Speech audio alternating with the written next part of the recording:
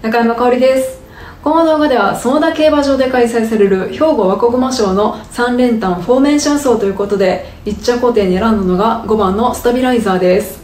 前走の兵庫ジュベナイルカップではスタートから出口を使うなど行き足がつかず終始外を回る競馬となり最後はさらに外からかぶせられて4着に敗れましたが実力負けというよりかは展開が向かなかっただけなので度外視できそうです。今回はスタートさえ決まれば頭まで狙えると判断して1着固定に選びました。続いて2着3着に選んだのが4番マミーモ太郎7番フェリシス。以上の2頭を選びました。最後3着固定に選んだのが6番ベラジオケンシロウ。8番前段の励み。以上の2頭を追加した3連単フォーメーション6点で勝負します。